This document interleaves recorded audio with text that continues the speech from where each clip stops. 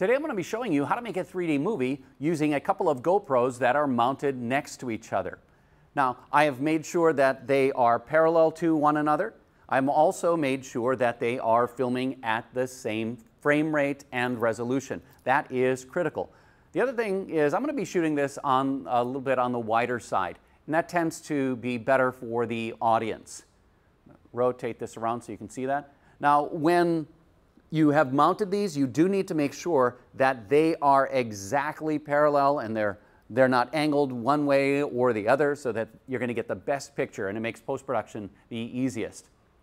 The other thing is once I hit record, I need to make sure that by pressing record on that, that they don't uh, shift the camera by pressing the button.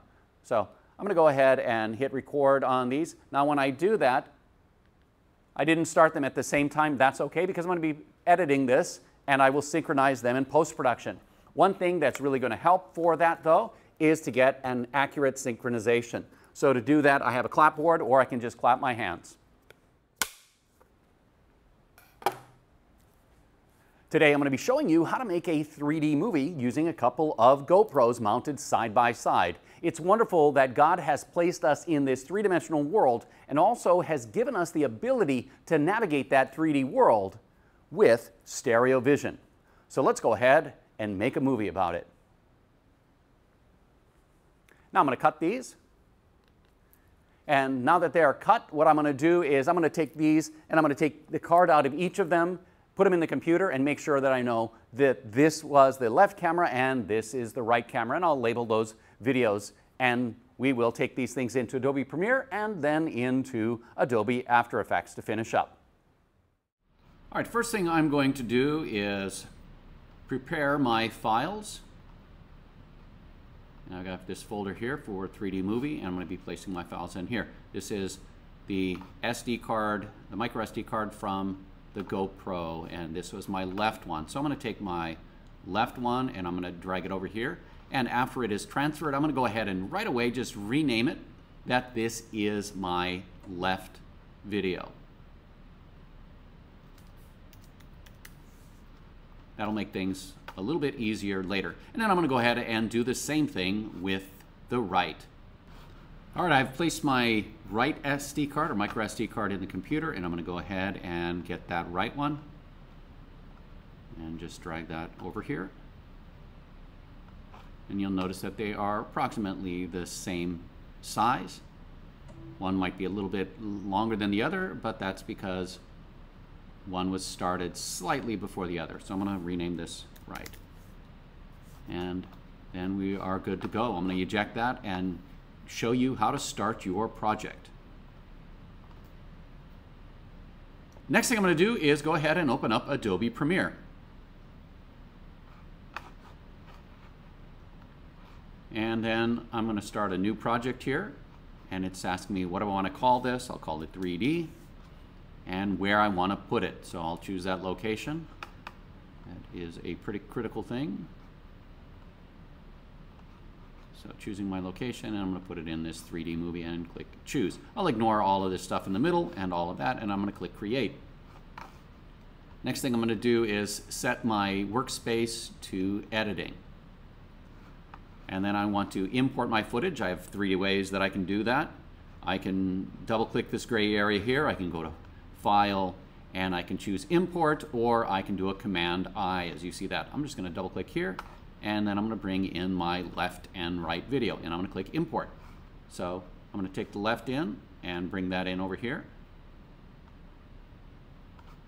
And then I'm going to take my right and bring that in over here. And you can see that I have two video clips and then I'm going to need to do some synchronization of that. So once they are in, I have my left on the bottom, right on the top. And I could try and manually synchronize these, but we're going to skip that and we are going to have Premiere do the synchronization. In order to do that, I'm going to just click and drag. Now I have them both created, but you do notice that this is called left so that not confused later, this is my sequence because I dragged the left in first. It's called the sequence this. And I'm just going to click this and I'll call this 3D movie. It's a good idea to always rename your sequence whatever you need to name it so that you're not confused with the clips that are also called those same things. Now that I have, again, I'm going to select both of these and I'm going to right click and I'm going to look through this and look for synchronize. And I want these to synchronize with audio. I can use channel 1 or channel 2. It really doesn't matter for this. I'm going to click OK, give it a moment, and they synchronized. Then I'm just going to go through and trim these up a little bit. And actually, I can get rid of some of that audio. But I'm going to put that down. And I'm going to trim this short like this and like this.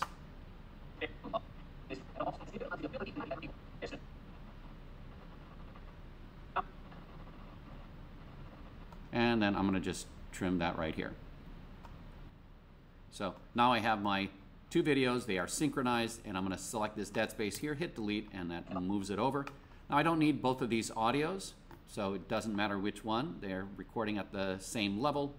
But what I'm going to do to make this a little bit easier, I'm going to hold Option on my keyboard or Alt. So I'm on a Mac right now, so I'm clicking Option. If I were on a Windows, I'd click Alt. I select that, and now that is selecting that audio from this one here for that right one, and I'm just going to get rid of it. So I'm going to hold, I'm going to click and hold Alt or Option. Now I have that audio selected. I'm going to delete it. So now I only have one audio track. Showing you how to make a 3D movie using a couple of GoPros mounted side by side. And if I wanted to see the difference between the two cameras, just to kind of eye that up, you'll notice that I can hide one and then open the other. These look like they were mounted pretty well. I think this is going to work quite well. So next thing I'm going to do is I'm going to do a Command S or Control S if I'm on Windows, and I'm going to move on into Adobe After Effects. So I'm going to select these, I'm going to right click and choose Replace with After Effects Composition. And I'm going to give it a moment and it'll open up Adobe After Effects. Next, when Adobe After Effects opens, it asks me, well, what do I want to call this and where do I want to put it? I'm going to call this 3D movie. And it doesn't matter that I'm calling it the same thing as the other file because this is an After Effects project and not a Premiere project. But I don't want to save it in Adobe Cache. I'm going to go to where I have this saved and then you'll notice that it brought it in and I have this sequence in Adobe After Effects on my left and my right.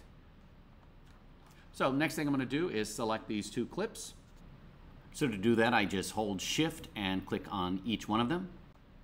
So they are both selected, and I'm going to go to Layer, and I'm going to tell it to, in that layer, I'm going to go to Camera, and I want it to create a stereo 3D rig. And it may or may not ask me uh, or tell me about the 3D layers.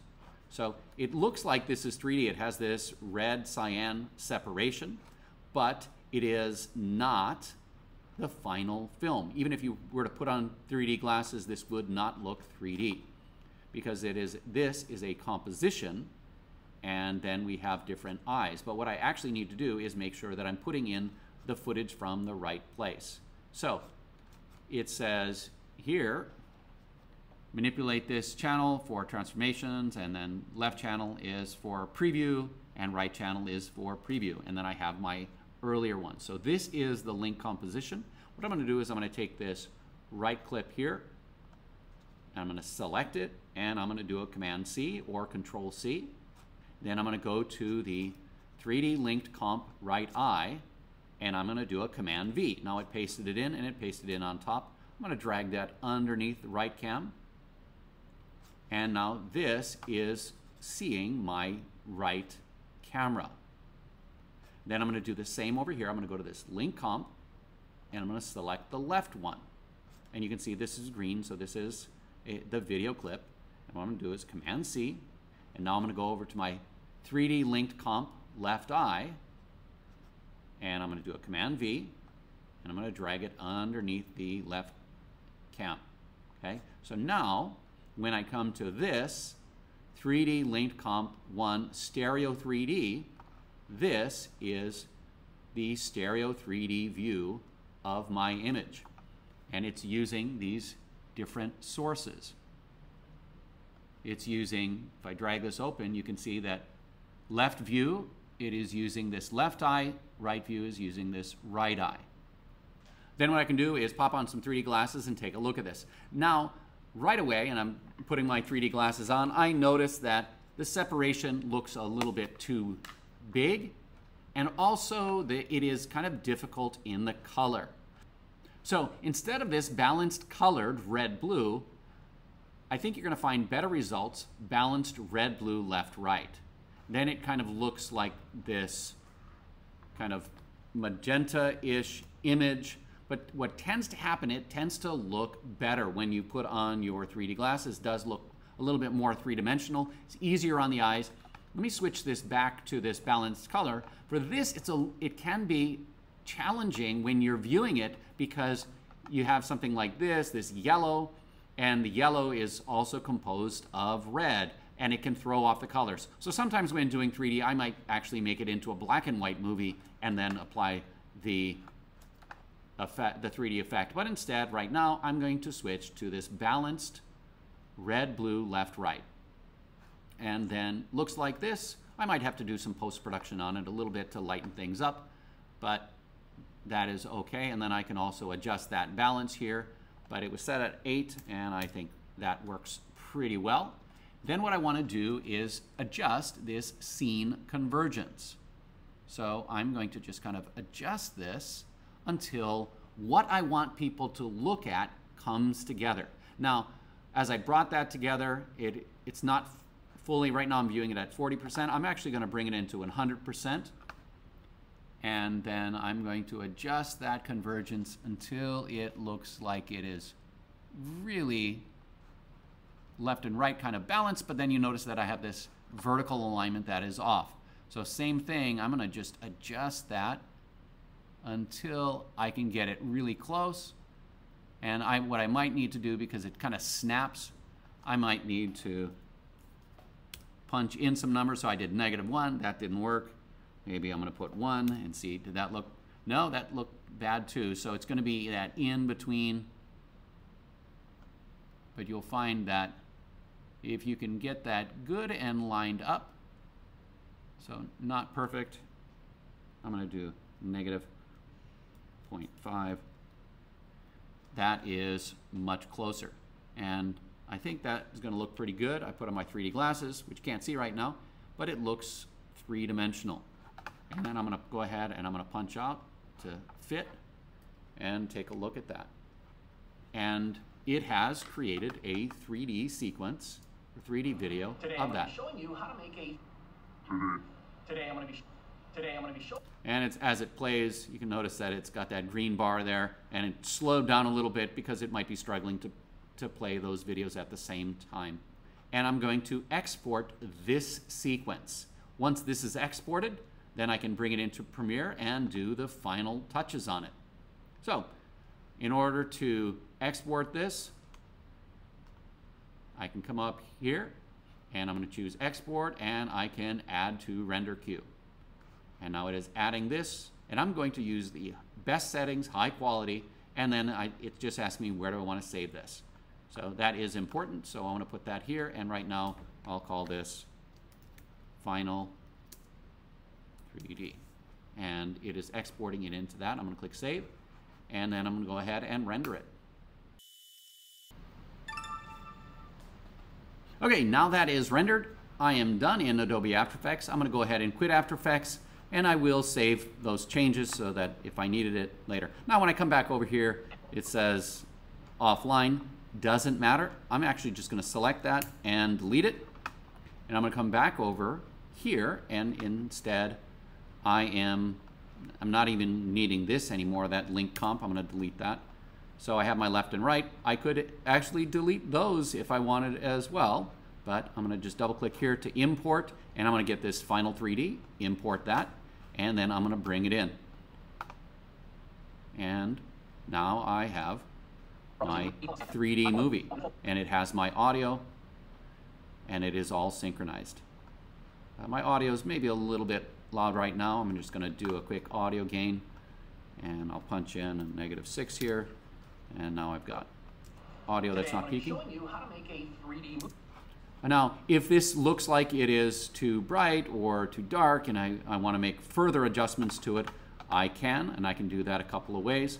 I could come in here and go to my video effects and I could do some adjustments, whether these adjustments or I could go under my color correction and do a Lumetri color or brightness and contrast. Um, maybe I want to take a Lumetri color, drop that on here, and then come up to my effects.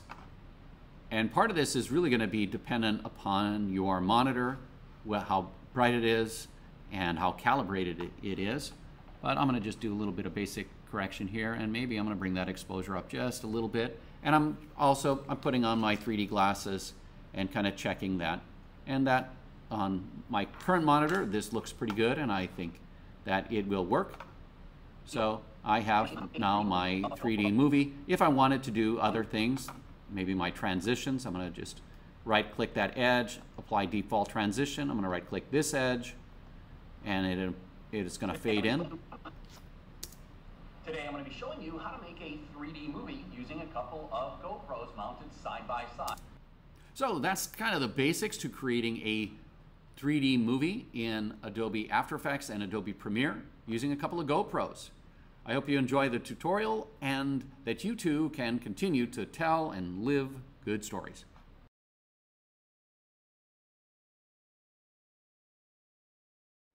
Today I'm going to be showing you how to make a 3D movie using a couple of GoPros mounted side by side. It's wonderful that God has placed us in this three-dimensional world and also has given us the ability to navigate that 3D world with stereo vision. So let's go ahead and make a movie about it.